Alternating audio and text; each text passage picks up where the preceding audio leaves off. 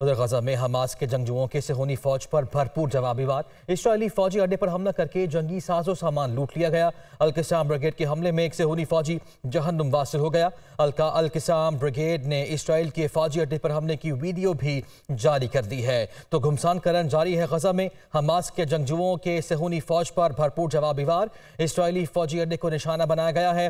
जंगी साजो सामान लूट लिया। अलकिसाम ब्रिगेड के हमले में एक सेहोनी फौजी मारा गया है। अलकिसाम ब्रिगेड ने इसराइल के फौजी अड्डे पर हमले की वीडियो भी जारी कर दी है।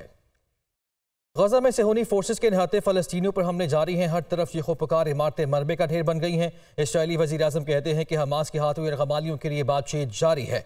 हमास और इसराइल के दरमियान नए जंग बंदी के माहे पर भी बातचीत। उधर न्यूयॉर्क तलाबीब और स्पेन समेत कई ममालिक में इसराइली जाहियत के खिलाफ मुजाहरे भी किए गए।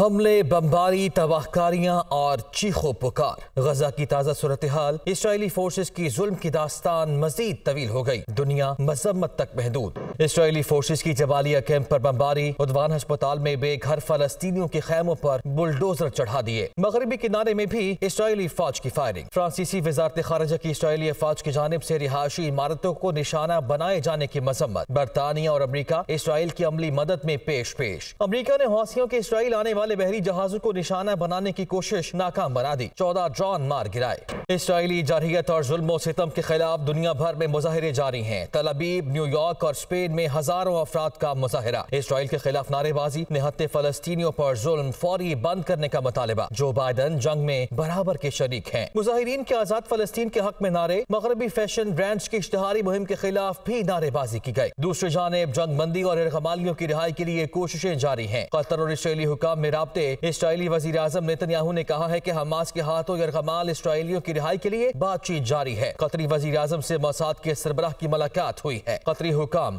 कैदियों की रिहाई के लिए कोशिशें कर रहे हैं। मगरबी मीडिया ने इसराइल और हमास के दरमियान जंग बंदी के माहे के लिए बातचीत का दावा किया है। दोनों अतराफ ऐसी यरगमालियों की रिहाई पर ज़ोर दिया गया। हमास के अलकसाम ब्रिगेड के तर्जुमान अबू उबैदा ने कहा है की इसराइल अपने यरगमालियों के हवाले ऐसी जुआ खेल रहा है। उसे यरगमालियों के घर वालों के जज्बात की भी परवाह नहीं। दुनिया मजम्मत तक महदूद है तो इसराइली हर धर्मी बरकरार है, जबकि निहत्ते फलस्तीनी निशाना बनते जा रहे हैं।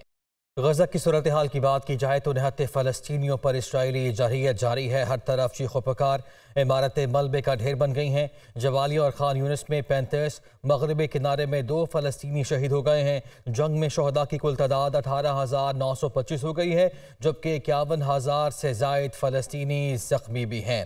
निहत्ते फ़लस्तियों पर इसराइल की जुल्म और बरबरीत का सिलसिला जारी है। हर तरफ़ चीखो पुकार के मनाजिर हैं और इमारतें मलबे का ढेर बन गई हैं।